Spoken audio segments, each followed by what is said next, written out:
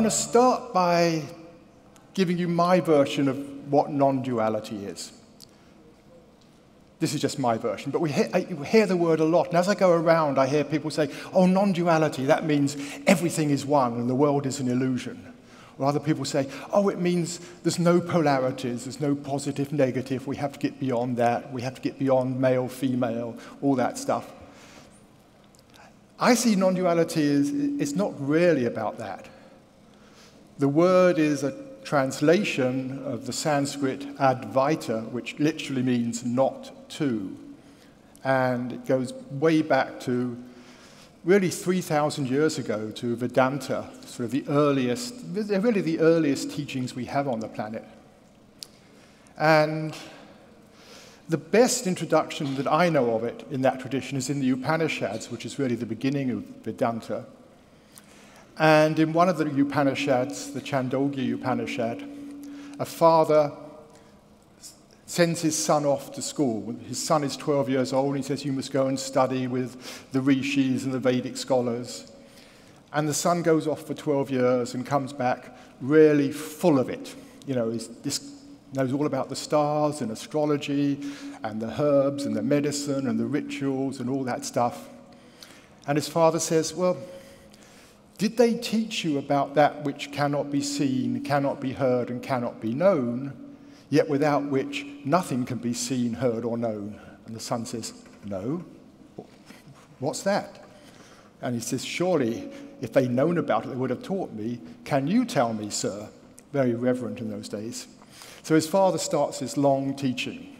And right at the beginning of the teaching, he says, You see these two pots made of clay. They're clearly very different pots. There's a duality here. The pots are real. And they're each made of clay. The essence is the same. And the pots wouldn't exist without the clay. They're totally dependent upon the clay for their existence. And yet, what we see is the pots, their shape, their size, their color. The clay, on the other hand, is always there, the essence, and is completely untouched. It's untainted by the potness. The pot can be this or that, it can be this color, it can be broken. The clay is always the same. And he says, you know, by knowing the essence of clay, you know the essence of all things made of clay. And then the teaching goes on, and he says, you know, know your own essence. When you know your own essence, then you know the essence of all things. And there's the famous line at the end of each of these passages where he says that that being, which is the subtlest level of everything, that art thou. Tat tvam asi. And that's where that line, which Deepak was referring to last night, it comes from that Upanishad. Tat tvam asi. That art thou. So he's saying, know your own essence and you know the essence of everything. And what he's really pointing to is we, we, live, in, we live in duality, and that's real. I prefer the word diversity to duality. Duality implies sort of one or the other. We live in a diversity of real experiences. You know, this is real. We can't doubt this is real to say, oh, it's all an illusion. No, this is the reality we live in. Uh, experiences, the thoughts we're having, whatever thoughts you're having now, that they're real, they're real, they exist. And they have no independent existence. They only exist because of an underlying essence, which we don't normally notice because we're so caught up on what we're experiencing, what we're thinking, what we're feeling, we don't notice the essence. So, what he was saying is there's an essence there, and by knowing that essence, you know the essence of everything you experience. So, so that, that's really what I see non duality is saying. It's not that the duality is an illusion, whatever. is saying there is this real world, and we miss the fact there is also an underlying essence. And the question is, what is that essence? And it's interesting because he never defines the essence. He says, look within, explore yourself, and you will discover it. But he doesn't give it a name, which is true in many mystical traditions. They say, this essence, it cannot be given a name, it cannot be defined, and yet it is so familiar. We all know it so well. And by inquiring within, we can begin to discover for ourselves what that essence is.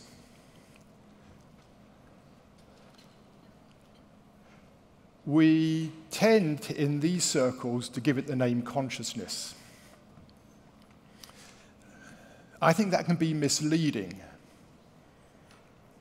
Firstly, consciousness is a noun, it makes it a thing, and we start looking for something, and the whole science of consciousness is trying to describe something called consciousness. What is consciousness? Where does it come from? Etc. We're not really talking about a thing. When you add NESS to a word, you're taking an adjective and turning it into a noun so that we can talk about it. And it means the state, ness means the state or quality of being conscious, which is what we all absolutely know for sure is the fact we are conscious, we are experiencing. And that just needs pointing out, really. It doesn't need any great long arguments or anything. But we can, we can actually divide non-duality into two areas. There's, there's the philosophy of non-duality, and there's many, many non-dual philosophies. You know, we, there's non-dual philosophies in Indian traditions, in Buddhist traditions, in Sufi traditions, in Christian traditions. In this tradition, there's arising now in the 21st century a whole new spiritual tradition. There's non-dual philosophies, which are all sort of pointing to the fact in one way or another that there is just, there is an essence that we don't know. They're all pointing to it and saying that this is the essence of everything. The problem with non dual philosophies is we get our intellects get engaged, like which one is right, or you know, which one has limitations, is my one the right one? They're all constructs, as Deepak was talking about last night, you know. And everything Deepak was talking about was a construct all non-dual philosophies, they're all just more constructs in the mind. And we start getting into debates and arguments. I happen to feel pretty sympathetic to Deepak's construct, but that's just because my construct resonates with his. But they're all just constructs, and we can debate them till the cows come home. But what the teachers are really talking about is what is the path to experiencing that? to actually tasting that essence, the path to it. And that's what I'm really more interested in because it's really about how do we wake up to this in our own life. The philosophies can be they can be great, they can be inspiring, they can be frustrating at times, but they can be inspiring to help us find a path, to follow a path, to wake up to this essence. But in the end, it's like, how do we, each of us in our own lives, begin to, yeah, let's say wake up, to rediscover this for ourselves? Because that's what it's really about, and that's what changes our lives. And somewhat ironically, most many non dual teachers will point out there is no path. That's another sort of characteristic of non dual teachings. They say there is no path to this, by which they mean there's nowhere to get to. Uh, one of my favorite lines is from a Buddhist teacher who said, There's nowhere to go, nowhere to go nothing to do, no one to be. There's nowhere to go. We're not trying to reach some exalted, marvelous, exotic state where everything's transformed and we see the world differently. I used to think that way when I first got involved in all this. I thought, oh, it's going to be like some amazing trip or something, and everything's going to be wow.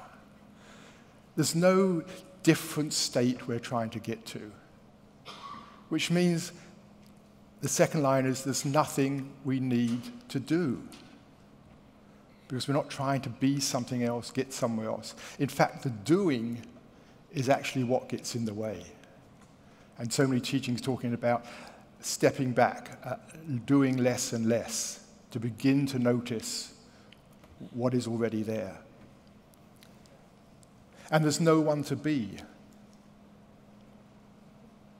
So much of the time you say, I am this, I am that, and I am Peter Russell, whatever it is, I am meditating, etc.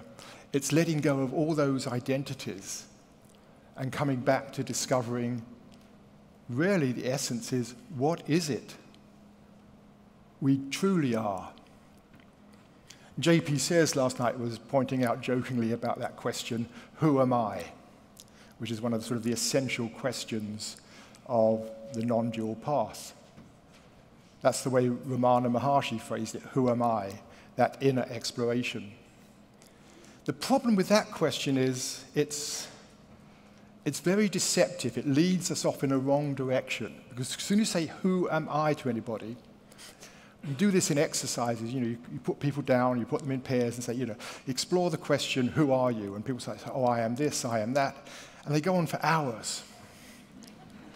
There used to be in the 80s there was this very popular workshop called the Enlightenment Intensive, where you sat down for a weekend saying, Who am I? It's, I'm, no, I'm not this, I'm not this, I'm not that, I'm not this, I'm not that. I'm this, no, I'm not this, and I'm not that. Ultimately, ultimately, the mind lets go and people go, ah, it's just this. It's just this, this meanness, this sense of being. You cannot define it. As soon as you ask, Who am I? you're off in the wrong direction because you're looking for something, some object, some experience you can identify with. The, the word identify means, it comes from the Latin, it means to make the same as. If you're making yourself the same as something, then it's clearly not what you are. So the question, I mean, I prefer to put the question, what am I? Or what, what, what does the word I, what does the word I actually point to when we use the word I? And that's an, that's an inner exploration, inner inquiry of what do we actually mean by I? And as you know, most of you know, as you do this exploration, what you're coming in touch with is that sense of being, presence, meanness, of being conscious, that's always there, that's the same sense of I-ness that's always present. It's the same sense of I-ness that was there when you were a child. Our experiences, our personalities, our philosophies, our lives have changed, but that sense of, that core sense of me doesn't change. It's always there. And that's what they're pointing to, is recognizing that, that sense of self.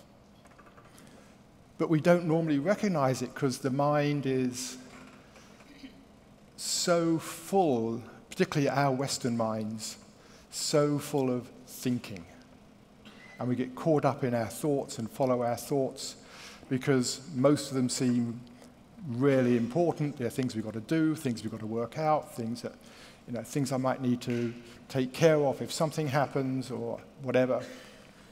In fact, most of our thoughts, if you look at them, they're trying to solve problems which don't actually exist and probably never will exist. I think it was Mark Twain who said something to the effect of, My life has been full of disasters, most of which never happened. but, you know, watch your own thoughts. Those who meditate, probably this is quite familiar, just how easily we get caught up in some story, thinking about something, and our attention is totally absorbed in some imagined reality. And in this imagined reality, we have an imagined self that's going through the world, facing these obstacles, these successes, the, and these challenges.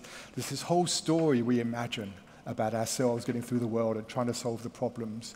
We live in this sort of whirlpool of thoughts.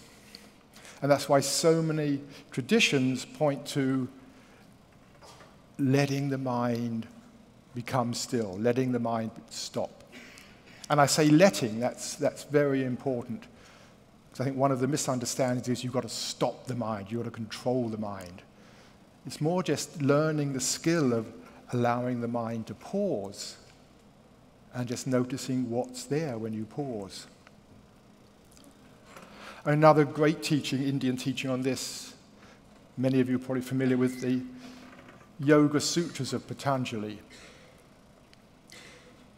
it was really, it's not about physical yoga so much, it includes that, but it's really about the whole philosophy of yoga, which is the word yoga means oneness or joining, coming together. Again, I don't see it means attaining something as it's sometimes understood, but you know, oneness to me is the end of separation. It's coming back to our own oneness. And the first line, the very famous first line, which is almost every yoga school has it somewhere. Yoga is the ceasing of the whirling of mind stuff. Yoga is the ceasing of the whirling of mind stuff. You go back to 19th century translations, and it's all about we've got to stop it, we've got to stop the whirling of mind stuff. And then you watch the translations, they go through the 20th century, they get softer and softer. Oh, it's, it's allowing it to cease. Or it's just a statement when the whirling of mind stuff ceases, then the separation ends. And then, even deeper, the word that's translated as ceasing also has the meaning of freedom. It's freedom from the whirling of mind stuff. And then the second line, people just go for the first line and think that's great. And then they, the second line is really interesting. It says, then, when the whirling of mind stuff ceases, then there is abiding in the true nature of the knower. That's how we come back to knowing our essence. When the, the whirling of the mind stuff ceases, then the true nature of that which knows all things, the true nature of that which knows what can be seen, heard, and known, then that starts becoming apparent. But again, not as some amazing cosmic experience, but just as, ah, it's that simple. And I think in my own, my own journey, it's just like almost year by year, it's like, oh, it's that simple. Oh, it's that easy. Oh, it's that obvious. How could I have missed it? I think we miss it because our minds get engaged in looking for something. One of my favorite personal aphorisms is Seek and ye shall not find.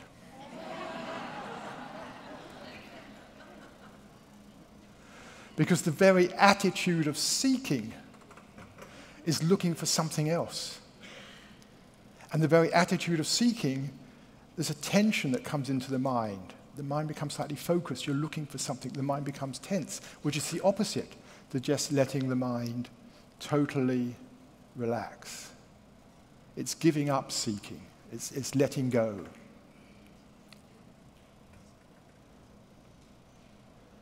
It's just, I mean, just now, wherever your mind is, wherever you're going, whatever you're thinking. You could be in a complete, you could be imagining something different, not listening to me, but I hope you hear this little bit.